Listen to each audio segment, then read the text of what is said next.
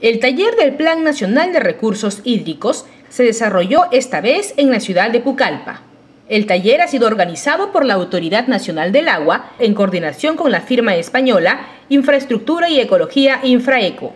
El artículo 97 de la Ley de Recursos Hídricos, Ley número 29338, señala que la planificación de la gestión del agua tiene por objetivo equilibrar y armonizar la oferta y la demanda del agua, protegiendo su calidad y cantidad, propiciando su utilización eficiente y contribuyendo con el desarrollo local, regional y nacional. Por lo tanto, corresponde a la ANA la formulación del Plan Nacional de Recursos Hídricos del Perú. La ley precisa, además, que se deben contemplar procesos participativos y de consulta a los actores institucionales de la gestión y administración de los recursos hídricos. Por ello, el objetivo principal del taller es que los actores del Sistema Nacional de Gestión de los Recursos Hídricos, como representantes de las juntas de usuarios, empresas prestadoras de servicios de agua, Capitanía de Puerto, empresas madereras, INIA, entre otros, junto con los administradores locales de las salas Pucallpa, Atalaya, Perené y Tarma, pertenecientes a la Autoridad Administrativa del Agua Ucayali,